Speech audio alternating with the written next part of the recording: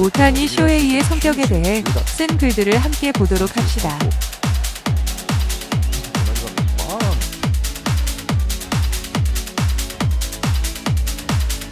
오타니 선수는 긍정적이고 낙관적인 성격이며 부담감이나 도전에 대해서도 긍정적인 자세를 가지고 임합니다. 이도류는 무리가 아니야 라고 주위로부터 들어도 자신이 할 수 있는 모든 것을 묵묵히 해내는 힘을 가지고 있습니다. 고등학교 2학년 때 고관절 부상으로 투수로 출전할 수 없는 상태일 때도 비관하지 않고 발상을 전환해 투수로서 훈련을 할 수 없는 이 기간에 타자로서의 훈련을 쌓아 재능을 꼭 키운 것입니다.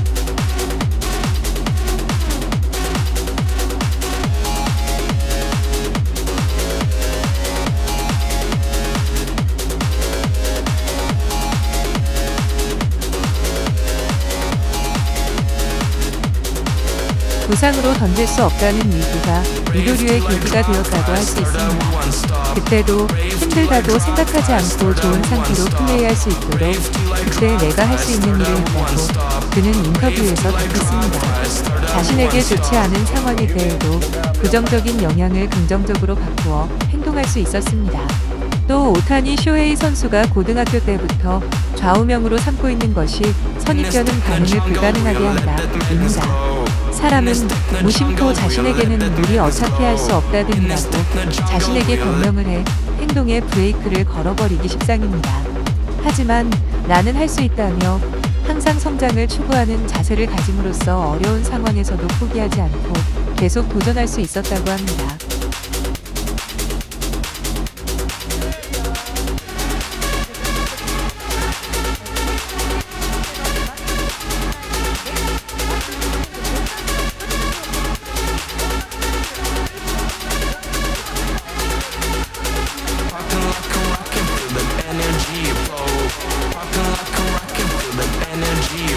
부상이나 공경을 겪어도 긍정적인 자세를 유지하는 그의 모습은 힘과 통기를 매료시키고 있습니다.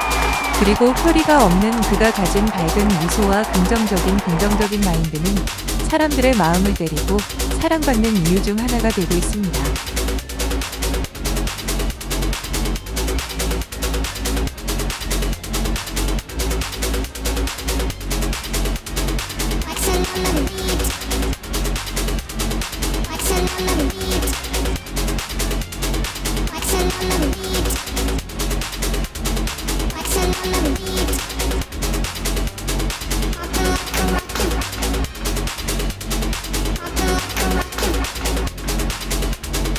오타니 쇼헤이 선수는 맞을 수 있다, 던질 수 있다, 그리고 웃길 수 있다라고 기사에도 쓰이듯이 유머가 넘치는 존재입니다.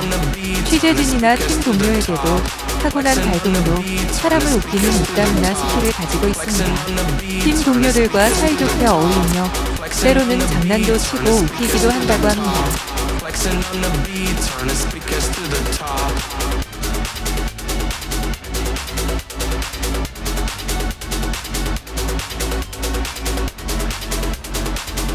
겁 없는 성격으로 도미하고 나서 영어 실력을 높이고 팀 동료와의 커뮤니케이션을 즐기고 있습니다. 팀 동료도 오타니 쇼헤이 선수는 항상 웃는 얼굴로 짜증내는 것을 본 적이 없다고 말하고 있습니다. 다른 팀의 선수에게도 스스로 인사하러 가는 등 긍정적인 교류를 도모하고 있습니다. 또 메이저리그 스타 선수들에게도 인기가 있고 올스타전 때도 선발 등판에도 불구하고 많은 공이나 유니폼에 정성스럽게 사인을 한 것은 유명한 이야기입니다. 또한 오타니 쇼헤이 선수의 취미 중 하나이기도 한 스마트폰 게임 등을 하여 팀 동료와 친목을 도모하는 있을 것 같습니다.